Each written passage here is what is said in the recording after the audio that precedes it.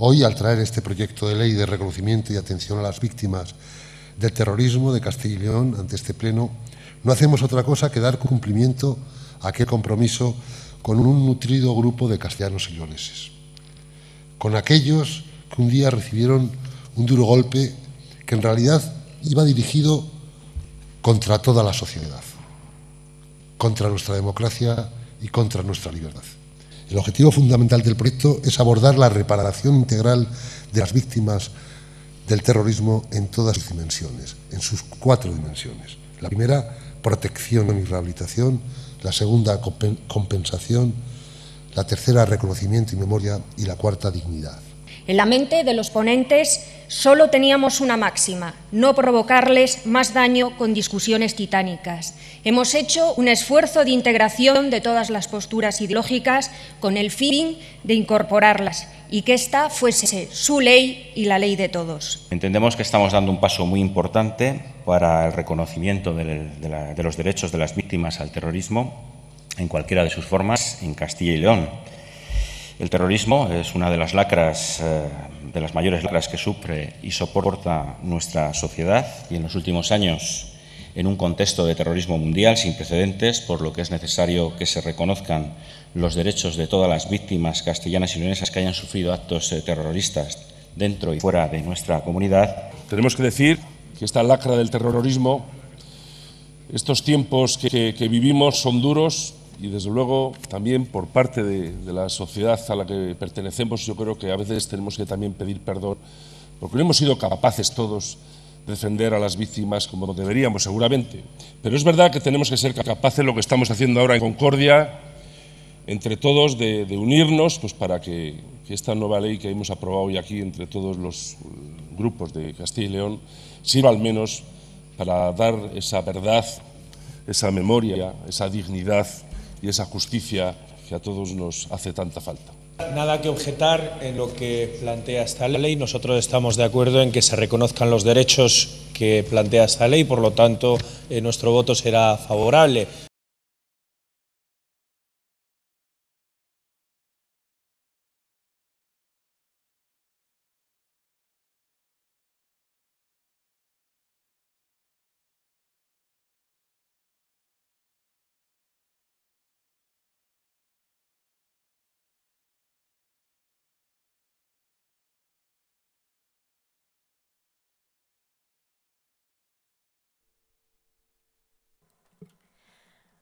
A continuación, la portavoz de Unión, Progreso y Democracia en el Parlamento Europeo, Maite Pagaza Ortundúa, nos dirigirá unas palabras.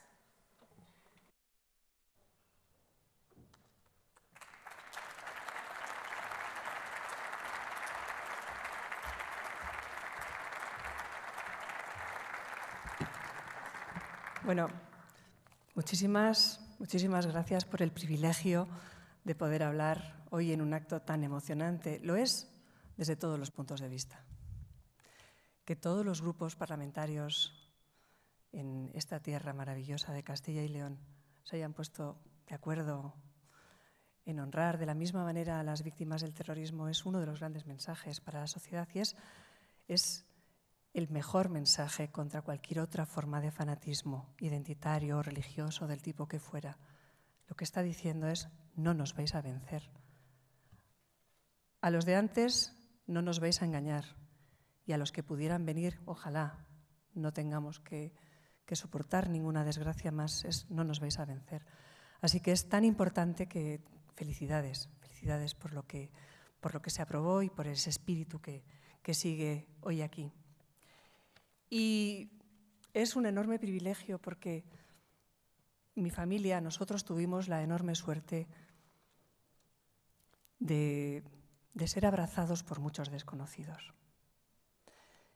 Y a mí me parece que el acto de hoy es, es un gran abrazo, porque Castilla y León ha sufrido el terrorismo desde el primer momento. No todo el terrorismo en España ha sido de ETA, pero ETA ha sido la causante de las máximas desgracias desde el punto de vista del acoso a inocentes, desde el punto de vista del acoso a la libertad ideológica, en, todo el tiempo, en todas las últimas décadas de nuestro país. Castilla y León tiene el máximo tributo de personas que han sido asesinadas por ETA después del País Vasco. Y es que somos comunidades vecinas, los vascos y los castellanos. Y es que había muchos castellanos que estaban viviendo en el País Vasco, que eran vascos como los demás, pero que en esos primeros años en que se intentó el silencio y el miedo, utilizaron el asesinato aleatorio no solo de las fuerzas y cuerpos de seguridad del Estado o de militares, también de personas corrientes que trataban a sus vecinos con normalidad y que si sus vecinos eran guardias o policías no les hacían el vacío. Esa buena gente castellana fue asesinada simplemente por ser humanos. Así que, estando aquí, heridos y supervivientes, estando aquí, viudas o viudos, huérfanos, niños que vivieron acosados en el País Vasco y Navarra, porque nos hemos olvidado de que miles y miles de niños y niñas vivieron perseguidos porque sus padres eran guardias civiles o policías nacionales o militares y tenían que esconder quiénes eran. Y a veces tenían que esconder el nombre de sus padres. Imaginarnos esto hoy resulta casi imposible, ha pasado. Hablamos, por tanto, de los protagonistas de hoy, los que merecen ese abrazo colectivo, porque muchos de ellos en su día, porque este país ha aprendido también con muchos errores, no tuvieron el abrazo que necesitaban, de desconocidos y de conocidos. Esos heridos, esos, esas personas supervivientes, esos niños y niñas, esos huérfanos y huérfanas, esos padres, esas madres, esos hermanos, esos compañeros. Así que por toda esa gente inocente, esa gente inocente es la protagonista hoy. Y es muy bueno que sus representantes hayan hecho muy bien las cosas y que esto se convierta en ese abrazo que nunca está de más. Que el que no lo tuvo, que lo tenga. Y el que lo tuvo, viene muy bien. Porque las ayudas, otros reconocimientos están muy bien, son necesarios para reincorporarnos a la vida, para reparar parte del daño que se ha cometido. Pero la dignidad y el cariño es seguramente lo que más recupera al ser humano. Hay que decir en un día como hoy que uno de los milagros de la sociedad española es la larga, la larga travesía democrática para no vengarnos, Ninguna víctima inocente cogió por su mano la venganza. Y eso es algo que se estudia en las universidades de todo el mundo. Y la humildad y la verdad, el cariño, el respeto hacia nuestros seres queridos arrebatados, nos hizo ser fuertes también para decirles a los terroristas que nos mirasen y para hacer más difícil a sus entornos que les siguieran apoyando. Es algo que también se explica y se aprende internacionalmente en otros lugares donde hay fanáticos que persiguen a colectivos por las ideas que sean. Por eso, por eso es tan importante que en la ley aparezca la idea de introducir aquello que se refiere al fanatismo y a la prevención del fanatismo y a los estragos de los fanáticos en el currículum educativo. Es que es muy importante, porque si somos capaces de devolver un ápice de humanidad de la deshumanización que se ejecutó antes del asesinato o antes del atentado, antes de la persecución o de la extorsión, estaremos preparando a, las, a los chavales, a las chavalas en los colegios, para que ellos no caigan en esa trampa porque puede ocurrir. Y por eso estamos educando, primero para no olvidar, porque es bueno no olvidar, porque hay que conocer las cosas importantes y porque es una de las asignaturas más dolorosas, pero más heroicas de nuestra sociedad. Pelear contra una organización terrorista con tanto poder durante tantas décadas y que ninguna víctima se haya vengado. Incluso en los tiempos en que la sociedad no estaba a la altura. Ahora somos un referente en muchas cosas internacionalmente, de reparación, de prevención, de cosas que nos ha tocado aprender con mucho, mucho dolor. Por tanto, no al olvido y también, y por tanto, no al discurso del odio. Siempre antes de las bombas y antes de las pistolas está un discurso de odio, un discurso excluyente, un discurso totalitario o autoritario o contrario al pluralismo, a la libertad de conciencia finalmente. Así que en estos tiempos en que hemos conseguido derrotar operativamente a, a la banda terrorista ETA, en que estamos a nivel europeo haciendo frente al terrorismo yihadista internacional con bastante eficacia, porque nos hemos unido los países para intentar hacer difícil proteger nuestras infraestructuras críticas, proteger nuestras calles. Lo sabemos los paseantes. No hay riesgo cero, pero estamos unidos también. Y nuestras enseñanzas, las enseñanzas de los españoles son muy importantes en este momento, en toda Europa, no solo en Europa, pero bueno, en la familia europea. Sabemos, por tanto, que tenemos que asistir que tenemos que pelear contra los discursos del odio, que tenemos que aprender, sobre todo nosotros, quienes estamos en los medios de comunicación, a comportarnos, a no descalificar al contrario, a intentar entender aquello que puede ser objeto de consenso y a ser leales con aquello en lo que no estamos de acuerdo. Esa es una escuela también de democracia. Esa también es una escuela contra el fanatismo. Esa también es una escuela contra el dogmatismo, contra la exclusión ideológica de otro. Y tenemos que entender también que cuando un pensamiento se convierte en hegemónico, puede llegar a convertirse, como en el País Vasco y Navarra fue, en algo que generó círculos de odio, de silencio y de miedo. Para un solo asesinato, hacía falta más de un asesino muchas veces, un círculo de personas que le ayudaban. Hay cientos de asesinos todavía por las calles y esperemos que con la entrega de la documentación francesa algunos de esos casos puedan resolverse. Hacían falta muchos colaboradores. Muchos de ellos, cientos, tal vez miles, nunca fueron detenidos o en un sistema garantista, y así debe ser, no fueron probados sus delitos y están por las calles. Miles de personas pidieron el asesinato de sus vecinos o de los policías o de los guardias civiles que eran realmente su escudo.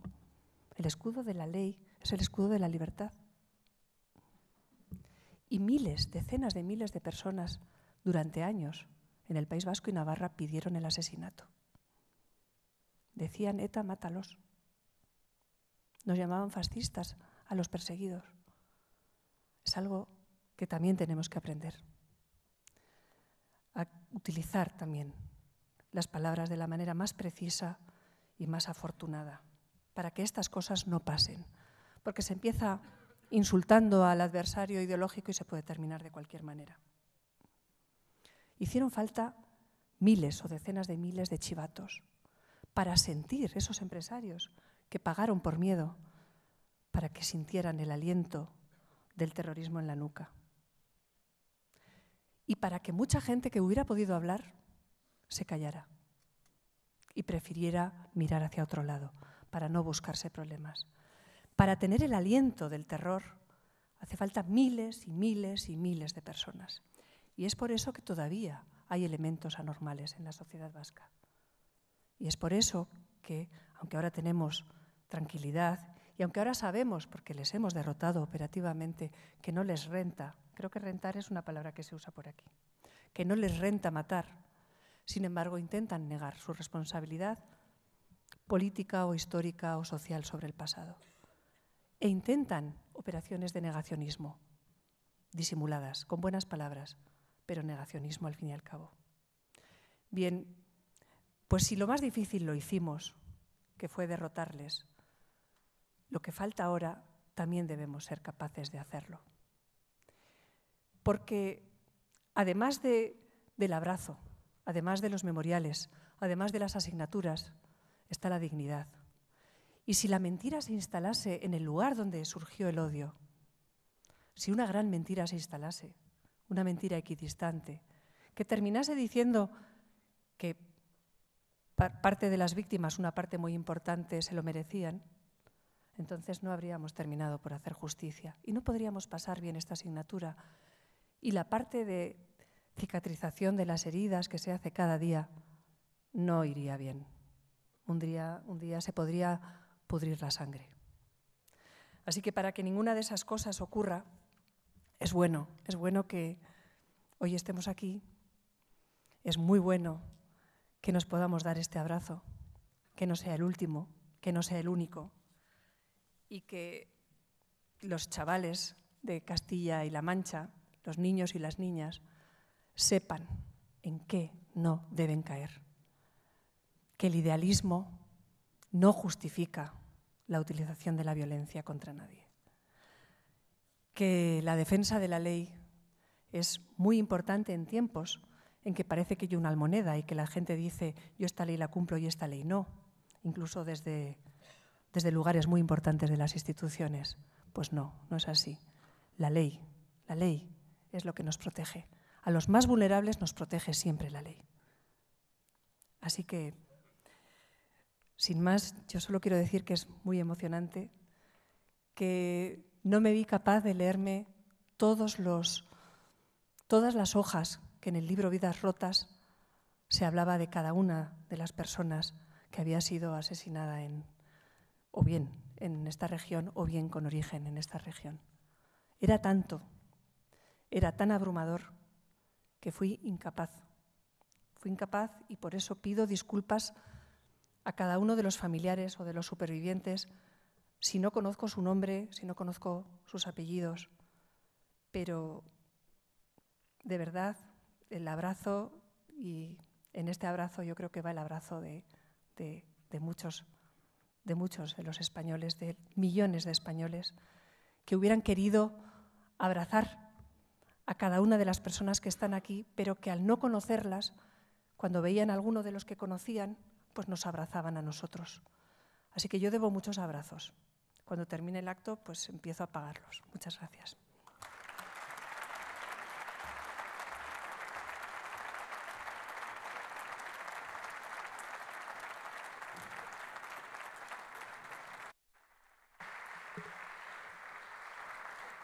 Vamos a proceder a la entrega de las medallas a las víctimas del terrorismo de Castilla y León. Para la lectura del acta de su concesión, llamamos al escenario a don José Manuel Herrero Mendoza, secretario general de la Consejería de la Presidencia y comisionado para las víctimas.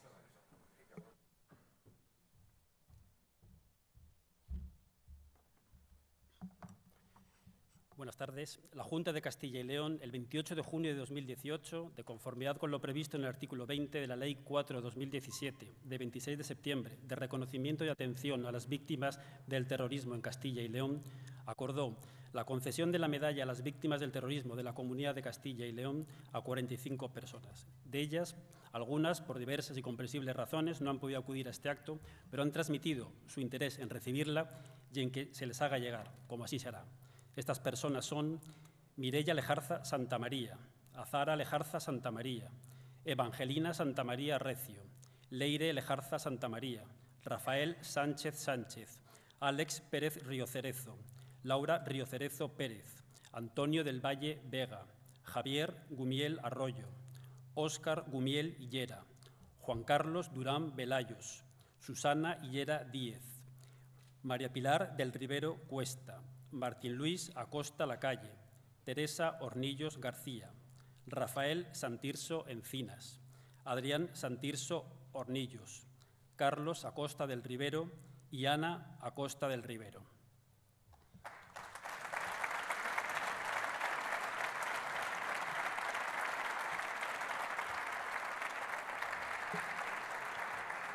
Para realizar la entrega de las medallas, pedimos la presencia en el escenario de las siguientes personas. La portavoz de Unión, Progreso y Democracia en el Parlamento Europeo, Maite Pagazaurtundúa. El portavoz del Grupo Parlamentario de Ciudadanos en las Cortes de Castilla y León, don Luis Fuente Rodríguez. El portavoz del Grupo Podemos, don Juan Pablo Fernández Santos. El portavoz del Grupo Socialista, don Luis Tudanca Fernández. El presidente del Grupo Popular, don Alfonso Fernández Mañueco. El vicepresidente y consejero de la Presidencia, don José Antonio de Santiago Juárez López. Y el presidente de la Junta de Castilla y León, don Juan Vicente Herrera Campo. A continuación, recogen personalmente la medalla que se les ha concedido las siguientes personas. Rocío Santamaría Recio.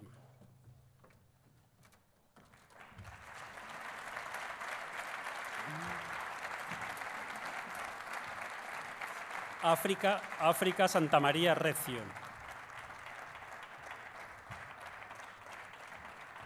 Ángel Hernández Fernández.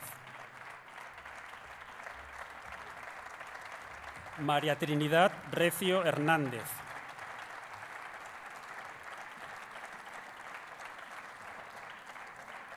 Lucía Esturla Santa María. Azucena Santa María Recio. Ángel Gutiérrez de la Fuente.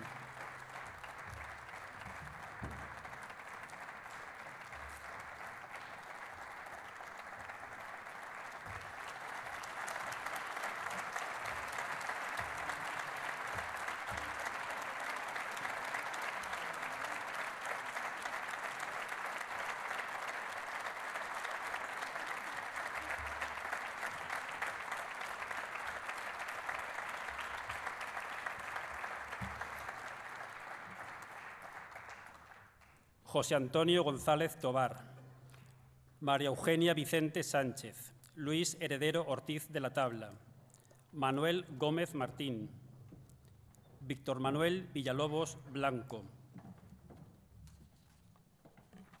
Luis Pérez Bao, Salvador Vicente Gajate.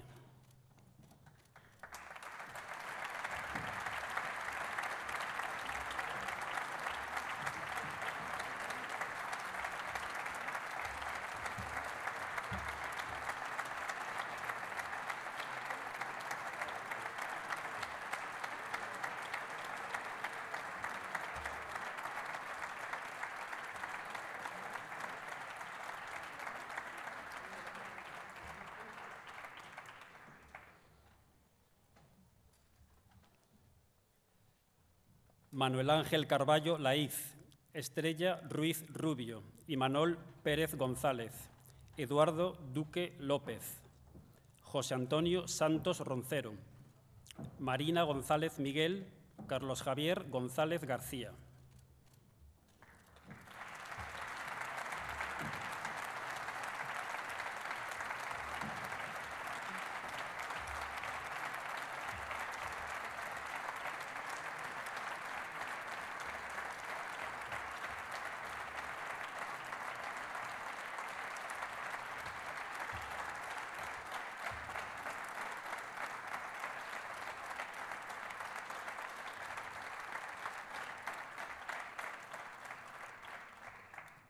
Carmen María Miguel Leal, Juan José Santos García, Juan José Aleiste Fernández, Jaime Mateo Istúriz y Manuel López Represa.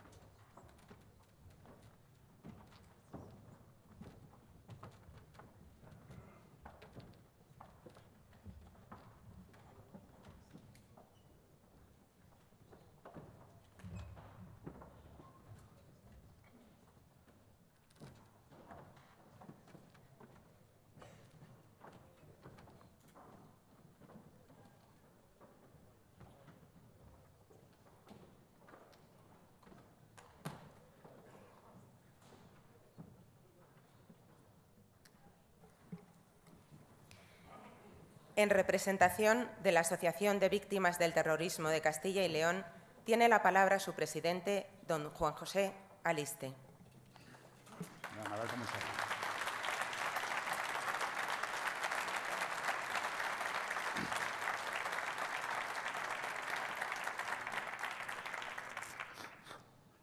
Querido, querido presidente de la Junta de Castilla y León, querido comisionado para las víctimas del terrorismo en Castilla y León, querida Maite Pagazatundúa, eh, queridas víctimas del terrorismo de Castilla y León, autoridades civiles, militares, medios de comunicación, señoras y señores.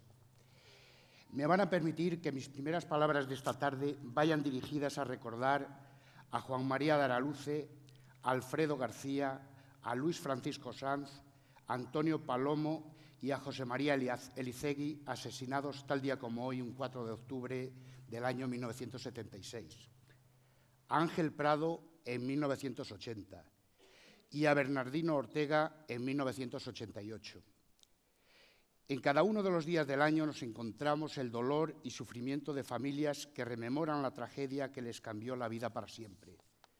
Por ello, en esta ocasión que nos brindáis, queremos acompañarlas y recordar a sus seres queridos que ya no se encuentran entre nosotros, víctimas de la barbarie y del terrorismo y del fanatismo. En enero de este mismo año, Su Majestad el Rey Felipe VI, al recoger el premio en defensa de los derechos humanos a Adolfo Suárez que le concedió la Fundación Víctima del Terrorismo, dijo lo siguiente.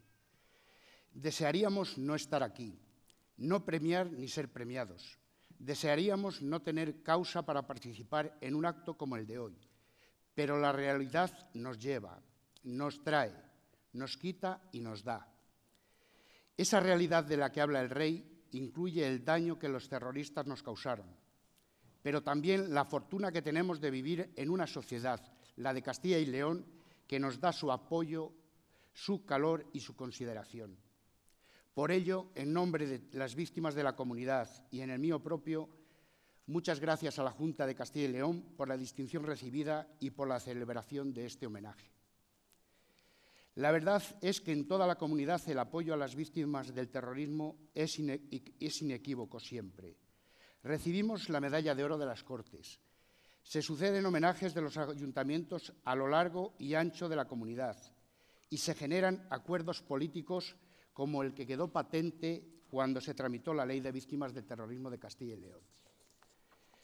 Este apoyo nos hace visibles a las víctimas, las que tuvimos el atentado en nuestra tierra, también las que Maite Bagaza ha denominado en alguna ocasión víctimas abandonadas a su suerte, a su duelo, porque sufrieron el atentado en el País Vasco y tuvieron que regresar a su tierra a escondidas y sin apoyo alguno.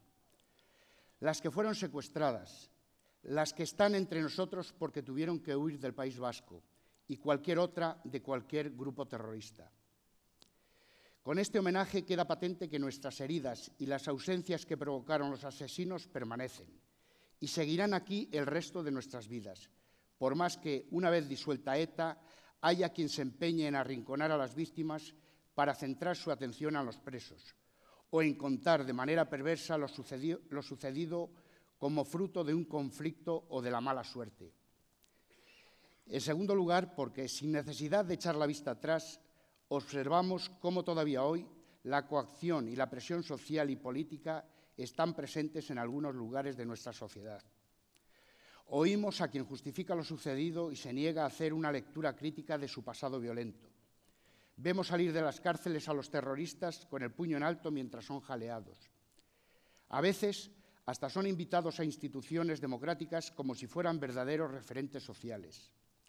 Y hay quien, amparándose en la libertad de expresión, humilla a las víctimas del terrorismo. Además, nuestro sufrimiento es todavía actualidad porque el proyecto político de ETA está presente en las instituciones. Ahora, desde sus sillones, intentan avanzar en los propósitos que antes les habían llevado a matar, romper la nación española. Por todo ello, es acertada la celebración de actos como este, para ayudar a satisfacer nuestra demanda de memoria y de verdad. Conocer la verdad nos ha de llevar irremediablemente al cumplimiento de la justicia. Les confieso que a veces me parece insólito hablar de esto. Solicitar que veamos a los responsables de los atentados respondiendo por los daños causados. No pedimos nada extraño, ni siquiera lo pedimos para nosotros. Se trata de una exigencia consustancial al, al Estado de Derecho y que puso de manifiesto el propio defensor del pueblo cuando en 2016 cifró en un 44% los asesinatos sin resolver, más de 300. En definitiva, estas insignias que nos habéis entregado y que de nuevo agradecemos de corazón, queremos que un día estén acompañadas de una sentencia condenatoria para los terroristas que todavía hoy están en la calle o que no han pagado por todos sus delitos. En este sentido, también es importante desmontar el planteamiento de los que quieren vincular la justicia con nuestro perdón, que es algo íntimo y personal, o los que nos quieren presentar como, parte imprescindible de un escenario de reconciliación, que es tan falso como su propia terminología, porque lo que busca es legitimar la teoría del conflicto y hacernos olvidar que lo que hubo no fue más que un crimen. Señoras y señores, en Castilla y León hay alguna víctima que se vio implicada hasta en tres atentados. Hay una familia que perdió a dos de sus miembros en atentados diferentes cometidos con ocho años de diferencia. Se han intentado cometer masacres en varias casas cuartel. Dos de los tres secuestros más largos de la historia corresponden a víctimas de nuestra tierra, en la que además dejaron graves secuelas ETA, Grapo y el terrorismo islamista en los atentados del 11M. Ese daño está hecho y es irreversible. Sin embargo, pasado el daño inicial, lo que más duele a los que lo sufrimos es que se nos deslegitime y que se nos desautorice cuando planteamos nuestras reivindicaciones. Y es más doloroso aún cuando por intereses políticos se les concede valor, se justifican o se amparan las demandas de los terroristas recompensando el haber dejado de matar, desde nuestro punto de vista, premiando el daño causado. Esto lo explica acertadamente una víctima del terrorismo del País Vasco, Ángela Altuna, cuando dijo que la culpabilidad del asesino va unida a la inocencia de la víctima. Son vasos comunicantes. La disminución de la culpa del primero pasa al segundo. Por todo ello, es tan importante nuestra demanda de dignidad dignidad que la sociedad de Castilla y León nos proporcionáis a través de este homenaje, de estas distinciones y de una ley que nos proporciona visibilidad, protección, asistencia y apoyo. Finalizo. En nombre de las víctimas, agradezco vuestra preocupación por nuestras necesidades y os pedimos que os ocupéis también de todo aquel que en nuestra sociedad padezca un sufrimiento o tenga una necesidad. No olvidaremos esta tarde vuestra generosidad, pero sobre todo para nosotros es muy importante tener la ocasión de vivir lo que nos ha tocado vivir sintiendo permanentemente vuestro afecto y vuestra compañía. Por todo ello, muchas gracias.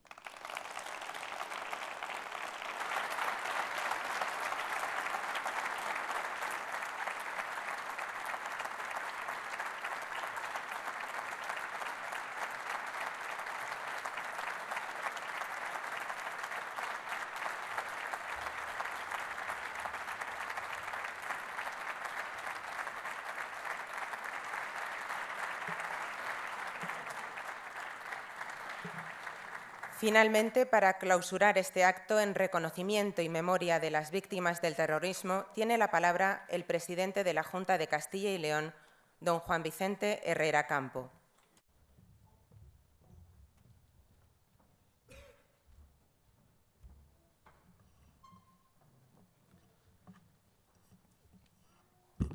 Presidenta de las Cortes, delegada del Gobierno, máximos responsables de los grupos políticos con presencia en nuestras cortes, autoridades, queridas amigas y queridos amigos. Gracias a todos los que os habéis eh, querido sumar a este acto de entrega de las medallas con las que Castilla y León expresa nada más y nada menos que su afecto, su cercanía y su gratitud a sus víctimas del terrorismo. Hoy, en concreto, a 45 paisanos a quienes saludo con todo mi respeto y con todo mi cariño. Por distintas circunstancias, ya se ha dicho, no todos han podido estar presentes aquí esta tarde, pero cada uno de ellos representa a todos los seres humanos que en nuestra tierra, en España y en todo el mundo han sufrido en su propia carne o en su propia alma la lacra del terrorismo con sus secuelas crueles e indelebles e incluso en tantos casos han perdido la vida a manos de fanáticos verdugos. Un saludo muy especial, de verdad, al comandante Juan José Aliste y a la querida Asociación de Víctimas del Terrorismo de Castilla y León, que con tanta generosidad y con tanto acierto preside. Y un saludo también muy cariñoso a Maite Pagaza, una de las voces más claras, más firmes, más valientes y respetadas entre las víctimas, un referente de la lucha por la libertad que nos acompaña en este acto. Querida Maite, bienvenida siempre a tu casa, bienvenida a Castilla y León en un acto muy importante. Este acto de homenaje se enmarca ciertamente en la ley de reconocimiento y atención a las víctimas del terrorismo que hace ahora un poco más de un año se aprobó por unanimidad en las Cortes de Castilla y León. Me importa mucho destacar esa circunstancia, la unanimidad, que de nuevo ha quedado hoy eh, expresada con la presencia que sinceramente os agradezco. Porque esa unanimidad no es algo sencillo de conseguir en arcos parlamentarios tan plurales como son los actuales. Y porque acredita que en esta tierra el reconocimiento a las víctimas del terrorismo no tiene fisuras, ni entre las distintas opciones políticas, ni, por supuesto, en el sentir y el pensar del conjunto de la sociedad. No hay sitio en Castilla y León para el abandono, el desinterés, la humillación o la estigmatización de las víctimas, ni tampoco lo hay, por supuesto, para quienes hacen la apología del terrorismo, intentan legitimarlo o justificarlo o defienden una imposible equidistancia entre las víctimas y sus verdugos. Hace ahora tres años, nuestras Cortes os concedieron su medalla de oro, expresión legítima del sentimiento de todos los castellanos y los leoneses. Desde la Junta establecimos también una intensa y eficaz relación con vuestra asociación, lo que muy pronto se concretó en la elaboración del proyecto de ley, a partir del cual seguisteis trabajando con todos los grupos parlamentarios, facilitando así la consecución de ese pleno consenso que todos entendíamos debía lograrse en torno a una norma tan trascendental como esta. Esa ley es vuestra ley, una página de la historia autonómica de Castilla y León que os debíamos y de la que estamos especialmente orgullosos. Una página que hoy seguimos escribiendo, para que quede constancia de vuestra fortaleza y generosidad, para ayudar en lo que podamos a la reparación integral de vuestro daño y para expresar todos juntos una exigencia a la que no cabe renunciar en una nación libre y democrática como España.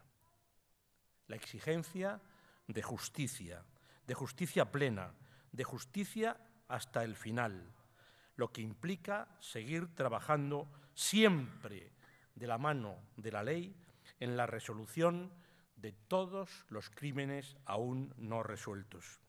Y supone también no olvidar nuestro compromiso activo con el reconocimiento, la memoria, la dignidad y la verdad de las víctimas.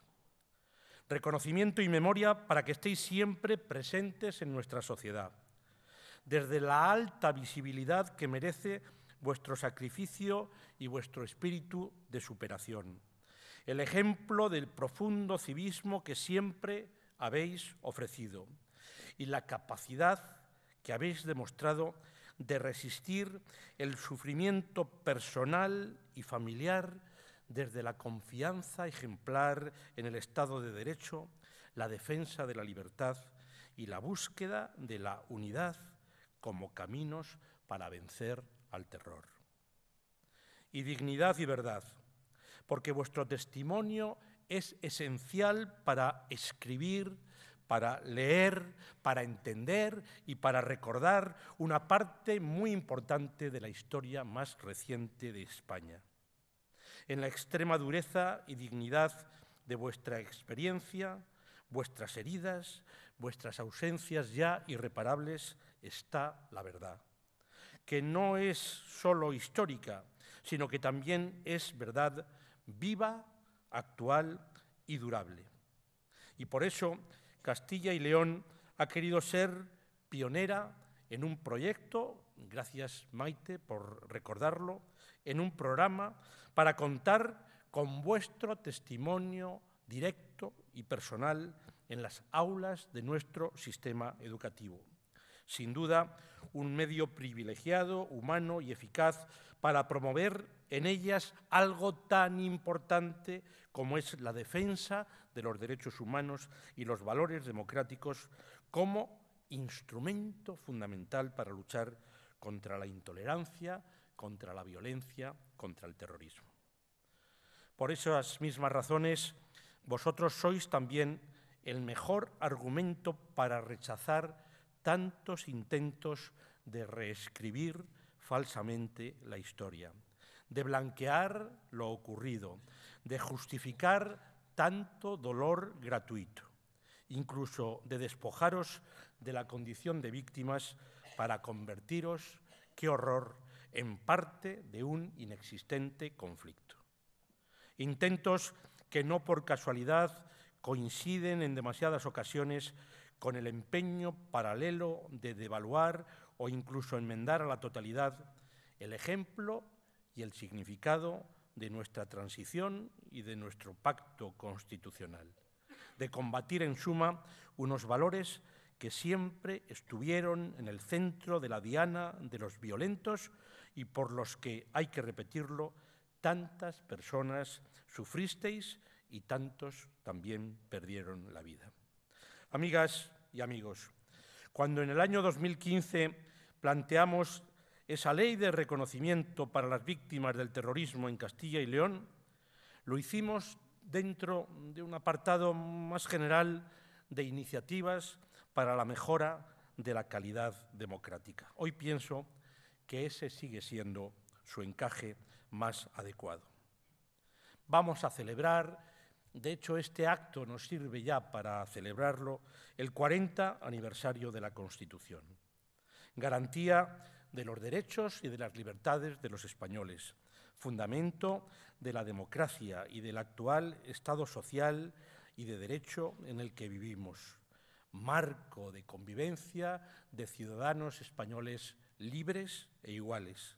Y también marco del autonomismo útil, leal y solidario en el que creemos un marco que ha permitido a nuestra nación protagonizar un avance extraordinario, situarse entre los países con mayor desarrollo social y material de Europa y del mundo, e incluso, ¿por qué no?, afrontar con más fortaleza, decisión y eficacia y justicia los graves retos, problemas y crisis de un tiempo tan global, tan difícil y tan cambiante. Costó mucho poner ese marco en pie. Tantas esperanzas y renuncias para lograr la reconciliación y la concordia que lo hicieron posible y que, por cierto, aún hoy nos exigen aprobar con la voluntad de todos algunas asignaturas que tenemos pendientes con quienes sufrieron. Y también ha costado mucho defender ese marco, pues algunos quisieron romperlo, quebrarlo en nuestras propias carnes a través del uso del miedo, de la violencia, del crimen y del terror. Indiscriminados, como exige el terror, dirigidos a todos los ciudadanos, condición a la que muchos unían además la de ser también servidores públicos. Pero fuisteis vosotros los que recibisteis el golpe que iba dirigido a todos. Fuisteis vosotros los que padecisteis lo peor. Y fuisteis vosotros los que os convertisteis en la primera línea de defensa de nuestra vida y nuestra libertad, de la vida y de la libertad de todos. Y pese a tanto dolor, nunca os doblegasteis. Y lo más impresionante, hay que repetirlo, ya se ha dicho, es que después de eso, y a pesar de eso, nunca invocasteis la venganza o el odio. Siempre os acogisteis a través de vuestra legítima demanda de justicia a los valores y garantías de la ley y del Estado de Derecho. Y por eso siempre es irremediable, seréis nuestro ejemplo y nuestra referencia ética.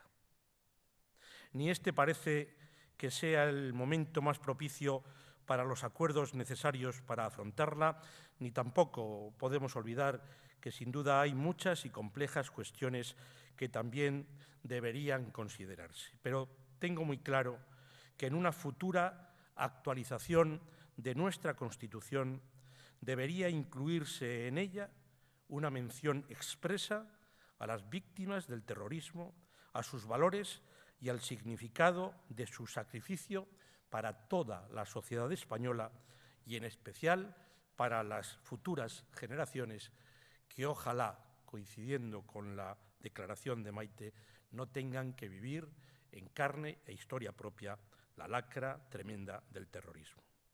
Cuarenta años después, esa mención expresa vendría a poner rostro humano, hacer justicia, saldar una deuda y recordar siempre en nuestra norma fundamental a quienes de modo tan directo habéis dado tanto y tanto por la libertad, la dignidad, los derechos y el progreso de todos.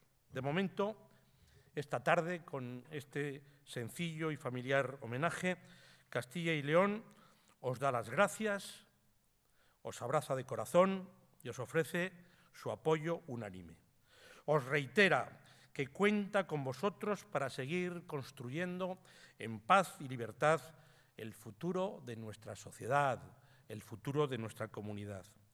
Una sociedad, una comunidad sana y solidaria que no quiere ser espectadora indiferente de ningún sufrimiento, que tiene un deber moral y jurídico con vosotros y que quiere conservar vuestra historia, cada una de vuestras historias.